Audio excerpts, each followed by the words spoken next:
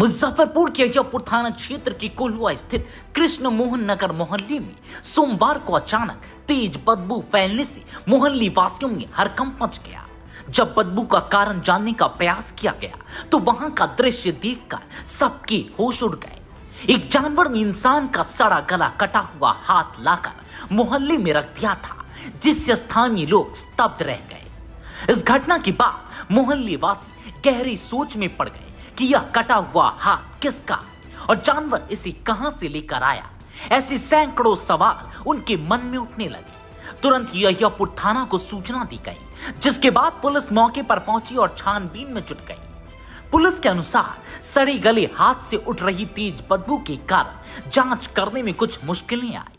फ़िलहाल, police dog squad की मदद से यह जाँच की जा रही है कि हाथ किस परिस्थिति में कटा और वह किसका हो सकता है।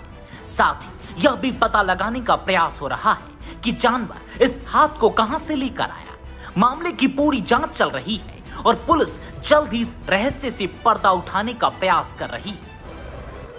आप तुम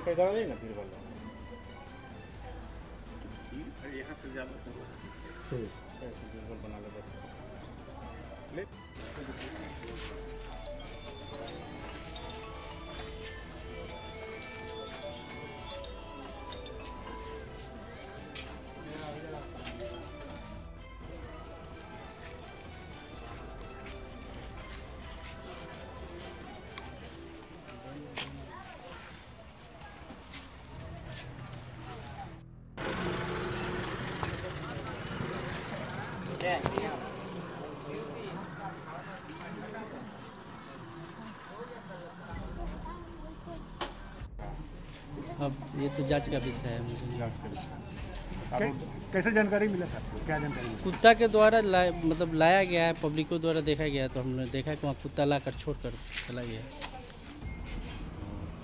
आदमी कहाँ पे है? क्या चीज़? हाथ आदमी का है ना? हाँ तो देख के तो पर वही वही लग रहा है। पुलिस को सूचना कर दी जी पुलिस को सूचना दी है। जी आइए क्या नाम है आपका? आनंद कौन मोहल्ला है? किस मोहन नगर कोलुआ। कोलुआ। मिला है वहाँ हम लोग आए हुए हैं देख रहे हैं कि वो सड़ा गला वहाँ का थोड़ा सा अंग है और ये पदाधिकारी को सूचित किया गया है अग्रिम कार्रवाई जो निर्देशानुसार अग्रिम कार्रवाई की जाएगी। क्या आशंका है? आशंका क्या लग रहा है? मोहल्ले वाले लोग क्या कह? महल्ले वाले तो कह रहे हैं कि सड़ा गला कहीं से कुत्ता उठा के लाया है। लोगों के द्वारा देखा भी गया है उसको उठा के कहीं से लाते हुए। हाथ है? हाँ हाँ। आगे इसमें देखिए जो निर्देशानुसार जो कार्रवाई होगी उसको किया जाएगा। कौन इलाका है सर ये? तो कुल हुआ? पैगम्बरपुर आगे कार्रवाई की जाएगी जी जी।